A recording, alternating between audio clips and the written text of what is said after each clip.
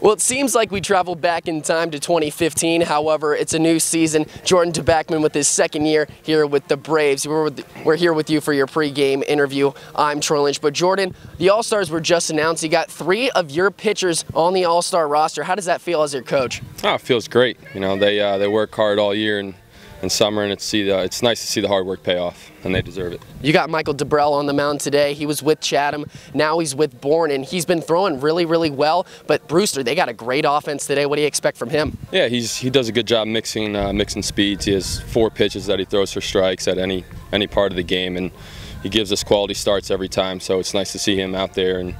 Uh, they have some pop in their lineup, but you know, as long as he works ahead and gets that cutter over and curveball over for strikes, he's going to be all right. Now, throughout this season, there have been a lot of pitchers that come onto the team and also have left the team. How does that affect you as a coach and your coaching strategies when these new guys are having to come in and you have to implement them into the game? Well, it's not too bad. I mean, we do our homework on them before they get here, so we kind of know what we're getting, and then we just kind of fill them in in the rotation or in the bullpen. And when their time is up, we see what they have in you know in games, and we just go from there. There are players like Connor Wong who are back for their second year on the Cape. This is your second year. Do you feel like you're a better coach? Oh yeah, absolutely. Um, you know, this is a tough league, but uh, great players.